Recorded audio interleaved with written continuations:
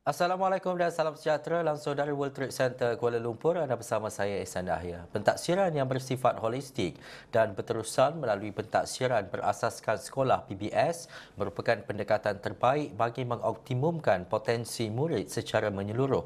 Dewan Rakyat diberitahu hari ini. Dan menurut Menteri Kanan Pendidikan, Datuk Muhammad Razi Majidin, bagi konteks pentaksiran bilik darjah PBD, guru memantau perkembangan kemajuan dan penguasaan murid dalam proses pembelajaran termasuk kemahiran asas membaca, menulis dan mengira. Atau sekolah. Dengan kaedah tersebut, Muhammad Razi berkata, guru boleh merancang dan mengubah suai kaedah pengajaran dan pembelajaran PDP bagi membantu setiap murid meningkatkan tahap penguasaan pembelajaran.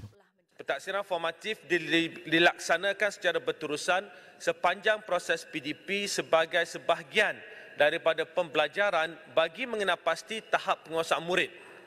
Pentaksiran sumatif pula dilaksanakan untuk menilai pencapaian murid dalam satu tempoh, tajuk atau bidang pembelajaran.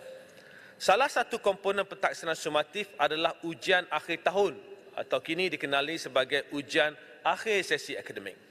Mulai tahun 2022, ujian akhir sesi akademik ditambah baik melalui penyediaan soalan yang setara standardnya oleh KPM bagi murid tingkatan 1 hingga 3. Beliau berkata demikian ketika menjawab soalan ahli Parlimen Sikh Ahmad Tarmizi Sulaiman yang mahu mengetahui keberkesanan kaedah penilaian penguasaan dan pencapaian murid yang diukur melalui pentaksiran secara sumatif dan dijalankan pada akhir tahun memandangkan pentaksiran tingkatan 3 PT3 telah dimansuhkan. Mengulas lanjut, Muhammad Razi berkata, soalan ujian akhir sesi akademik disediakan oleh guru yang berkepakaran dalam pembinaan item dan disimpan dalam bank soalan yang dibangunkan oleh KPM.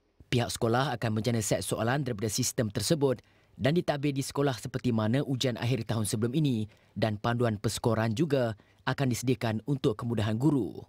Beliau berkata penambahbaikan kepada ujian akhir sesi akademik membolehkan KPM melihat standard pencapaian murid di seluruh negara. Kaedah itu jelasnya lagi akan membantu KPM merangka pendekatan yang bersesuaian sekiranya terdapat trend yang menunjukkan pencapaian bagi kohort atau kumpulan tertentu yang memerlukan intervensi khusus.